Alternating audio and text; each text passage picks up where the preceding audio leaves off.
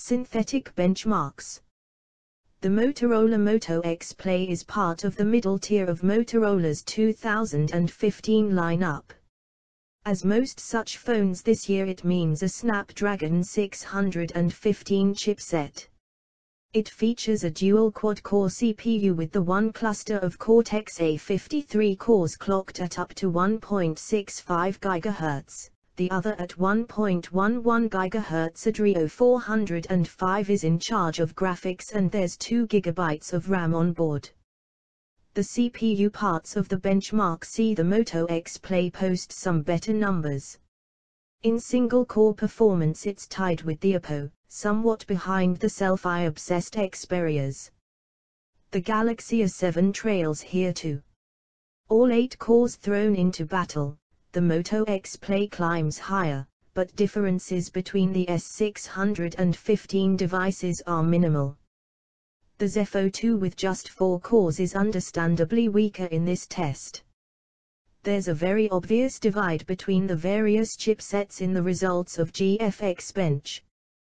The Moto X Play is in the lower tier with the rest of the S615S and amongst them it's decidedly average.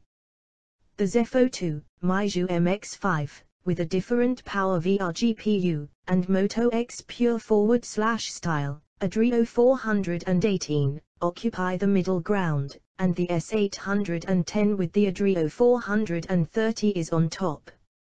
Oddly, the ZUK Z1 with the older Gen S801 and Adreno 330 rules the intense Manhattan benchmark.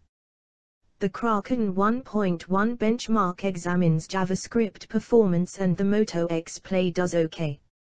It's on par with the Galaxy S7, but also the same as the Moto G, 3rd gen, which has an inferior chipset. It's not so much about the SoC this one though, since the Alcatel Idol 3 does a substantially worse job, despite rocking a Snapdragon 615 chip itself. Compound Web Browsing Benchmark BrowserMark 2.1 puts the Moto X Play on par with the Zenfone 2. The Galaxy S7 flies the S615 flag in this test, where the otherwise strong Oppo R7 Plus UDR delivers the Xperias are clearly not liking either of the browsing tests.